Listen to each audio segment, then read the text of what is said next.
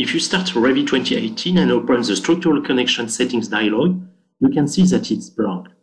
The reason is that there are no steel connections installed by default in Revit. You can install the Autodesk Steel connection for Revit 2018 from the Autodesk Desktop app, which delivers installations and updates for the products available with your subscription.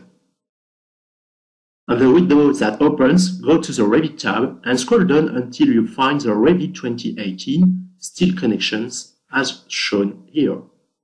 Then click on the blue button that says Update.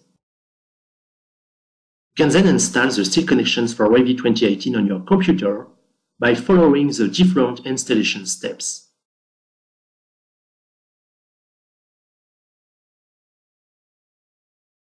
Once the installation has finished, restart Revit 2018 and open the Structural Connection Settings dialog by clicking Structure and then the small arrow under Connection icon.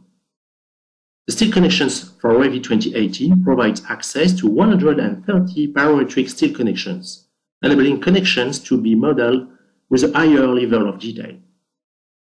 In the dialog box, select all the connection types you want to load and use in your project, and then close the dialog box.